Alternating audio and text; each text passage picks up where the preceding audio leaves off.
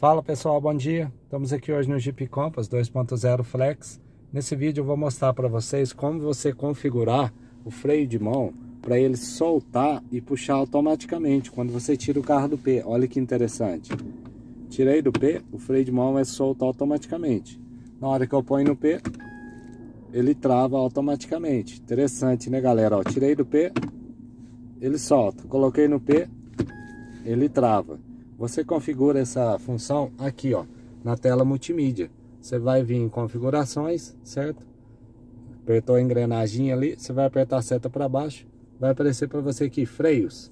Você vai clicar nele, aqui vai estar, tá, ó, freio de mão automático. Você tem a opção de ligar ou desligar, entendeu? Nesse caso eu vou deixar ligado, que é bem interessante essa função, né, galera? Ele puxa o freio de mão e solta automaticamente. Marcou ali como ligado, tá pronto tá ativada. Aí na hora que você for sair, por exemplo, eu tô aqui agora aqui na, na nossa casa aqui, no, no teste aqui com o nosso parceiro. vou tirar do P, ó, observa pra você ver, vai apagar a luz, ó. Pronto. Vou colocar no P de novo, ó. Top demais, né, galera? É uma função que traz segurança, que não tem perigo de você esquecer o freio de mão, colocar no P numa descida e na hora que você for tirar e dar aquele estalo com você, entendeu? Deixa sempre ativada essa função, ela te ajuda muito.